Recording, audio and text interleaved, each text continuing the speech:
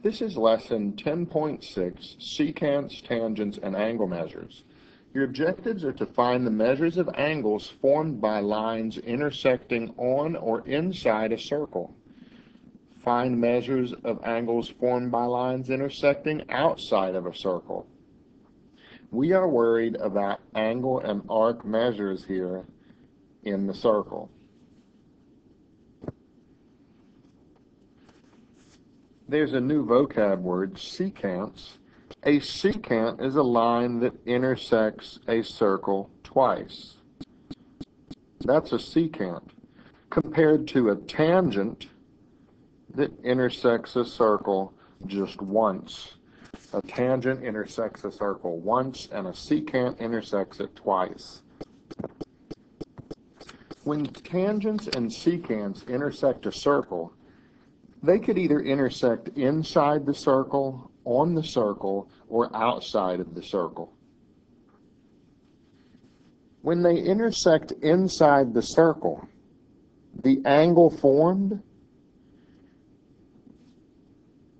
to find it, you take the arc that that angle opens up to and the arc on the other side of the circle and take half of the sum of those arcs.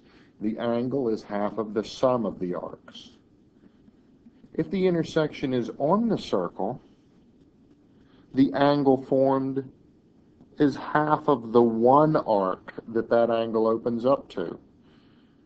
When the intersection is on the circle, it's half of the one arc that it opens up to. And when the angle is or the intersection is outside the circle, then the angle formed is half of the difference of the arcs that it opens up to. Take the big one, subtract the little one, and take half of that. Inside, the angle is half the sum of the arcs. On, the angle is half of the one arc and outside the angle is half the difference of the arcs. Remember for difference do the larger one minus the smaller one.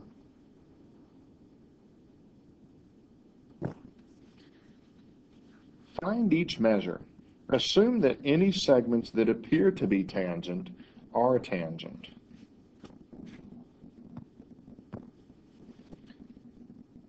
The measure of angle 1.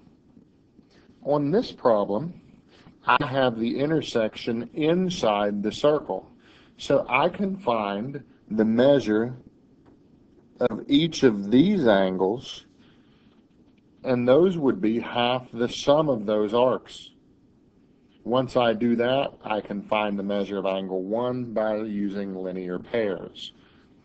Remember, the angle you find is the angle that opens up to the arcs that you know.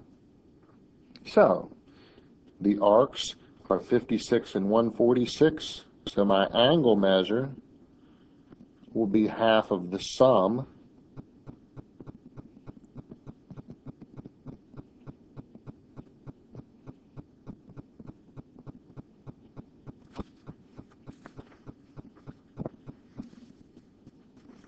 The sum is 202, so that angle measure will be 101. So this angle measure is 101 degrees. The measure of angle 1 and that angle form a straight line, so they are supplementary. 101 plus 79 makes 180.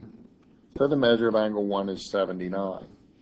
Remember, when the intersection is inside the circle, the angle you can find is half of the sum of the arcs. On question two, the angles is formed by the intersection on the circle.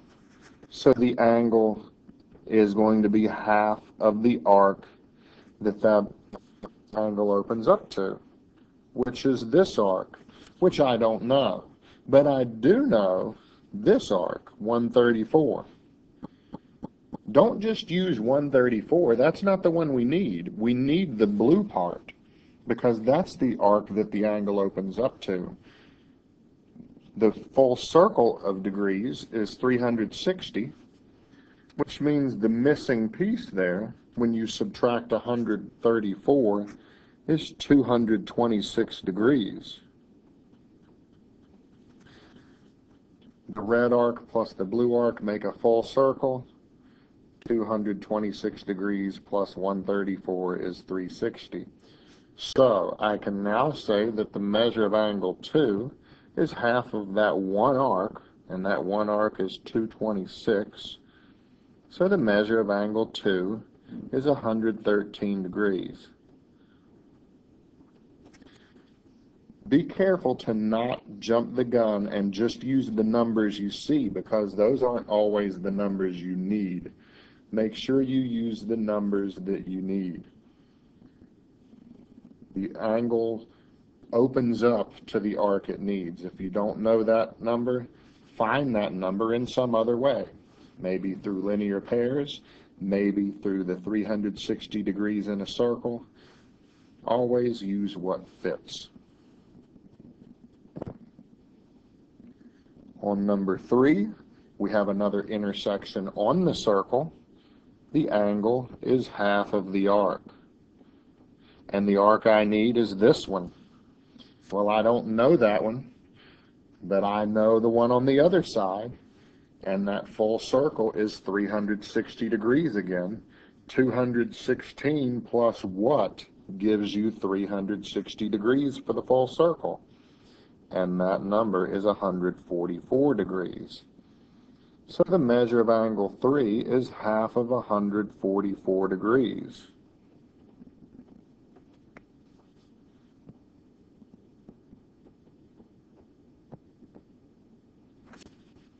Again, make sure you are using the correct number. Don't use half of 216. 216 isn't the number I want. I need the arc that the angle opens up to.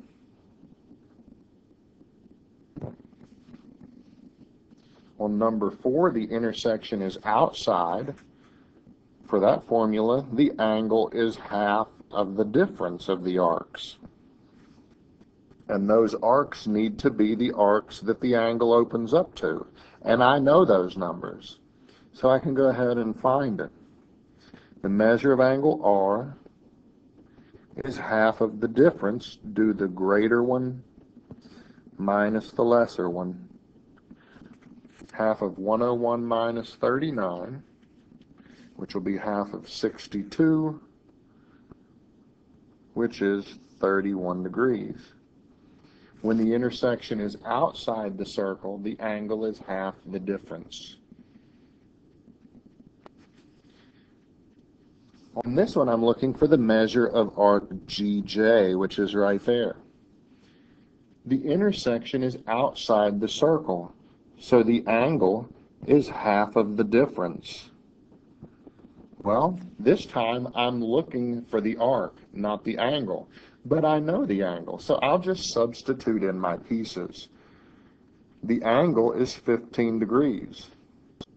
Half of the difference the bigger one will be 59, and the smaller one is arc GJ. And I'll just solve for the measure of arc GJ. If I'm taking half of the right, I can double both sides to undo that half. Multiply both sides by 2, so 15 becomes 30.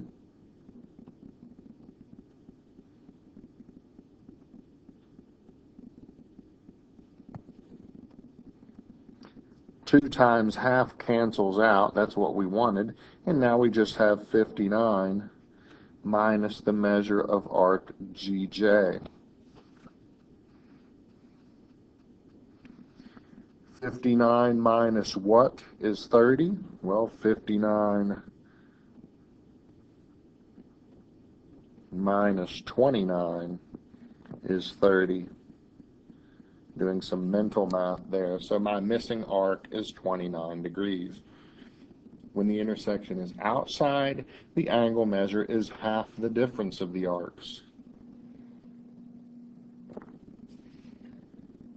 On this one, The intersection is outside the circle again, so the angle is half the difference of the arcs.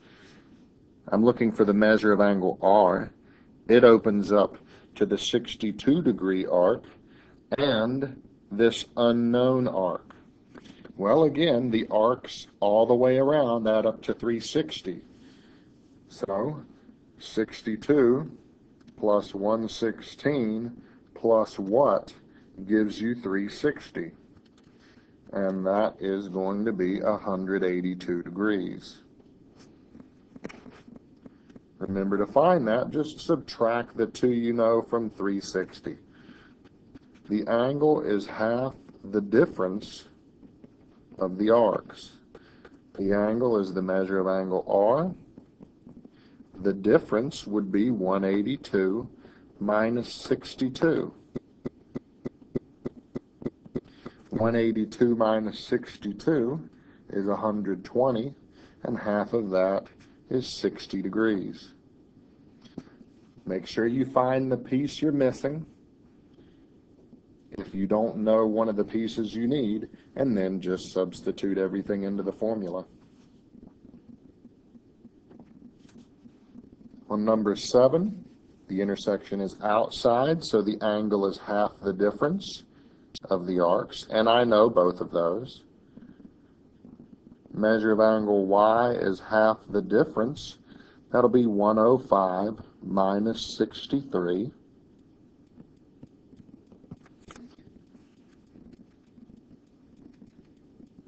Half of that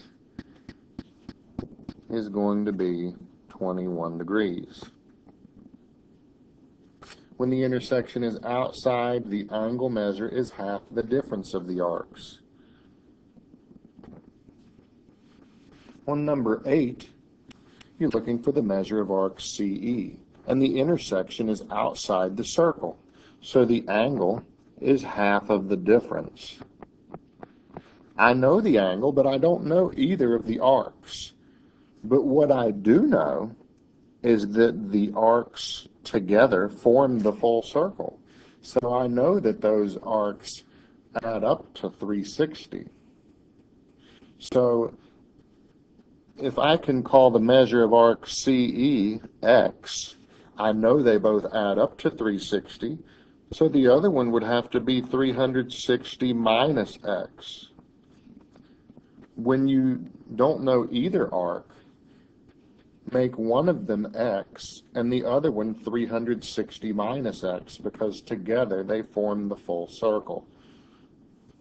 So the angle, substituting in, is 52. And that equals half of the difference. The first one is 360 minus x. And then from that, you will subtract the smaller one, which is x. That's 52 and half of 360 minus 2x, because negative x minus x is 2x. Distribute the half. 52 equals 180 minus x, because half of 360 is 180, and half of 2x is x. 180 minus what is 52. Do some mental math there. And you get 128. So the measure of arc CE is 128 degrees. Remember though, when you don't know either arc and they together form the full circle, make one of them x and the other one 360 minus x. On question 9, we're looking for the measure of arc YAB, which is this one.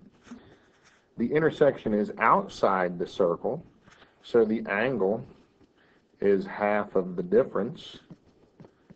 We know the angle this time, and just like on question 8, we don't know either of the arcs. So for the one we're looking for, we'll call that x.